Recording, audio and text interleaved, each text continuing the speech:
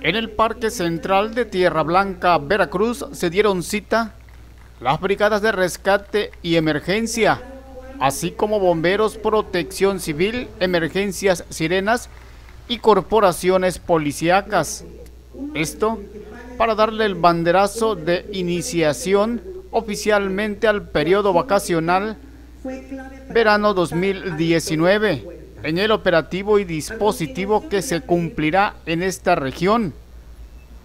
Las unidades de emergencia estarán muy al pendiente y en guardia las 24 horas para cualquier auxilio que se solicite, tanto en la ciudad como sobre la carretera federal 145, la autopista, y en distritos aledaños. Así lo dieron a conocer los jefes de cada delegación, al igual que el director de Protección Civil, Florentino Jiménez Castro, el cual explica el inicio de este operativo vacacional.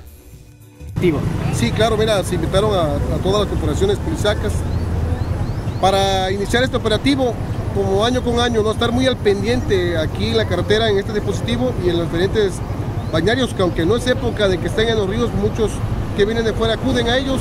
Bueno, tratar de, mantenerse alertas por cualquier emergencia que se dé. Las recomendaciones son de bueno, que si manejan esta carretera 145 que lo haga con mucha precaución. Hay que acordarse que está bastante deteriorada la carretera y no es para altas velocidades. Si, te, si necesitas de noche, pues igual manera si está lloviendo que, que lo haga muy despacio. Hay baches que se tapan con el agua y no logran ser visibles.